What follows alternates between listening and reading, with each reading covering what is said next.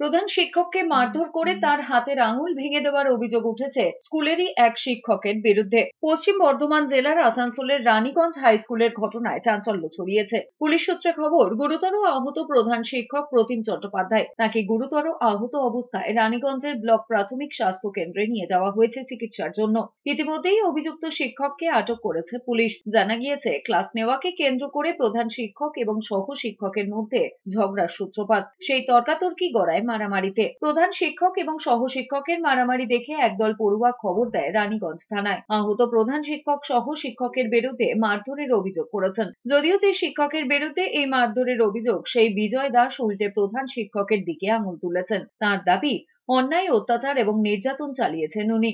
পরে পুলিশ এসে সহ শিক্ষককে আটক করে থানায় নিয়ে গিয়েছে। ঘটনার তদন্ত শুরু করেছে পুলিশ। ক্লাসে যেতে বলাটা আমার অপরাধ। Class second period ten B class দেওয়া হয়েছিল। সেই ক্লাসটা যায়নি। পিয়া মণ্ডলের হাজব্যান্ডও এই স্কুলে কাজ করে, নাম হচ্ছে বিজয় দাস। এবং দু হাজার পনেরো থেকে উনিশ অব্দি তাদের ইয়েতে স্কুলটা ছিল ফিনান্স থেকে আরম্ভ করে যাবতীয়।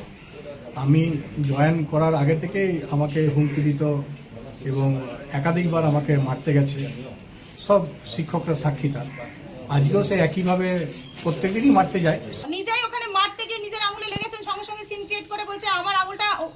দিল এই তো করে আসছেন। আকাশ মন্ডল আমার বুকে দুম করে মেরেছে।